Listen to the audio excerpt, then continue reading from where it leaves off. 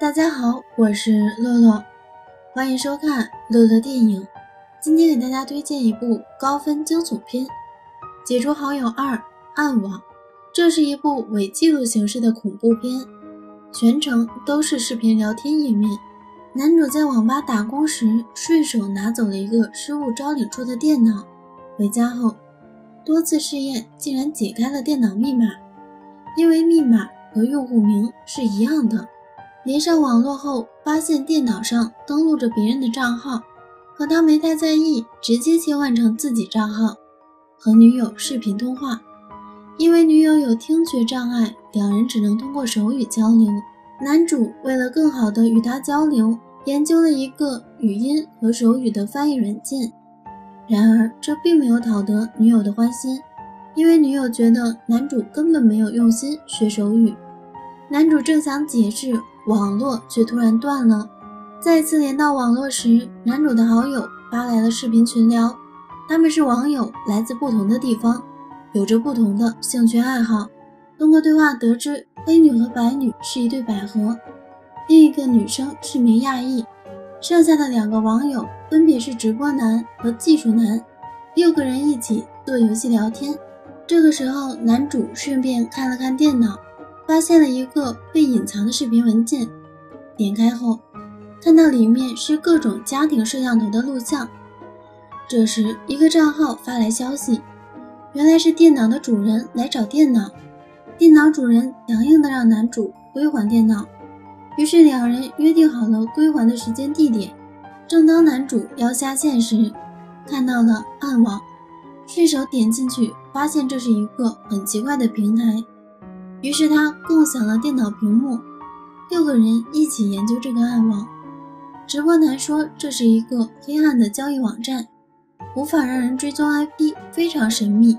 这时，暗网有人发来消息，应该是找电脑主人的，因为男主登录的暗网账号就是电脑主人的。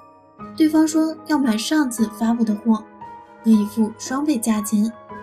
男主听到有钱赚，开始套话。后来得知，所谓的货就是钻孔术，给一个人的脑袋上打一个洞，这把六个人都吓到了。但是他们依然想将事情搞清楚，于是男主打开了隐藏的视频，发现了一个文件包，里面全是各种女孩被害的视频。最后一个视频是一个女孩正在睡觉，突然从窗外进来了一个人，黑女猜测。最后一个女孩应该还没有被害，大家决定报警。但这时，男主的女友发来视频，男主赶紧断开与朋友的视频和女友聊天。可视频接通后，女友并没有出现，反而女主的舍友回来了。在男主和舍友聊天时，一个自带马赛克的黑衣人出现，绑架了舍友，并告诉男主电脑是他的。他也知道男主和他的朋友想要报警。于是威胁男主，如果报警就杀了女友，并展示了自己可以监控男主的一切，甚至可以听到他说的话。一会儿他会偷偷的跟着女友来男主家，一手教电脑，一手教人，从此两不相干。男主被迫和黑衣人达成协议，为了女友的安全，决定对朋友们说谎。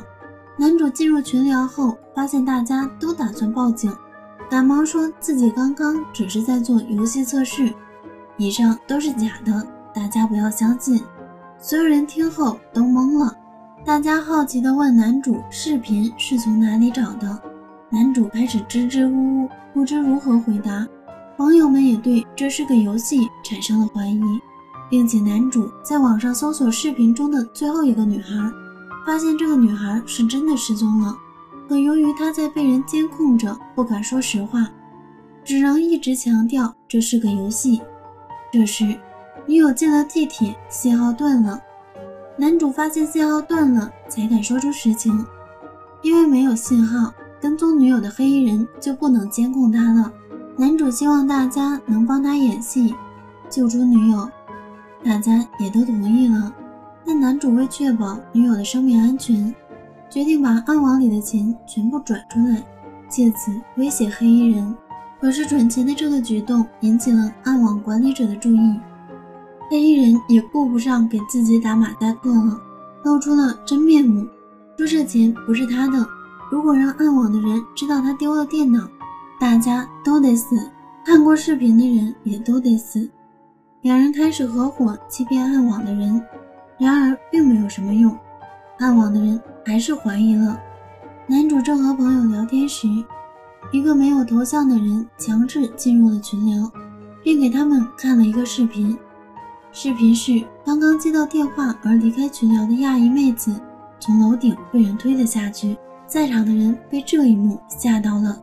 亚裔妹子死后，就轮到了直播男。这一次，暗网的人把直播男说过的话通过剪辑，把他伪造成了恐怖分子，还将涉恐言论直接用电话形式播放给警察听。警察来调查时，还播放了子弹上膛的声音，导致警察以为他要开枪，直接将其击毙。紧接着，轮到了白女。此时。黑女独自一人去接男主的女友，暗网的人在白女面前播放了黑女和重病母亲的视频，让白女做出选择，只能活一个。白女很崩溃，无法做出选择。最后，黑女被推下地铁，母亲被拔掉了氧气。白女看着两个最亲的人被杀，非常难过。突然，黑衣人闯进了白女家，也将其杀死。看到这些后，男主担心女友的安危，赶忙去找她。技术男则下载电脑视频做证据。此时，电脑屏幕又出现了视频，视频现场 PS 教学，将潜入最后一个女孩家中人的脸换成了男主的。技术男突然意识到这一切都是圈套，当初那个电脑就是故意放在那的。他们就是要利用拿电脑的人转移黑钱并背锅。技术男将此事告诉男主，但此刻男主心系女友安危，没有听进去。之后，技术男也被人吊死。紧接着，电脑出现了几行字，说自己畏罪自杀，所有女孩都是自己和朋友一起杀害的。另一边，男主发现暗网的人黑进了自己的账号。利用自己发明的手语翻译软件，把女友骗到了一个地方，并残忍杀害。男主看到女友惨死后，很是崩溃，但暗网并没有就此放过他。他被暗网的人投票被车撞死。男主死后，所有画面都变成了一个监视器，从头到尾都在直播。原来这真的是一个局。当男主拿到那个电脑时，就注定这是个悲剧。整部电影没有出现鬼神，甚至没有很血腥的画面，但是就是让人觉得毛骨悚然，会让人怀疑自己是不是也在被监控。现如今，智能网络已经渗透到了我们生活的方方面面。假如网络被坏人掌控，所有人的隐私都将暴露，那将是一件多么恐怖的事啊！好了，今天就讲到这里。更多精彩的悬疑惊悚片，落落以后接着讲。喜欢记得关注，获取第一时间更新哦。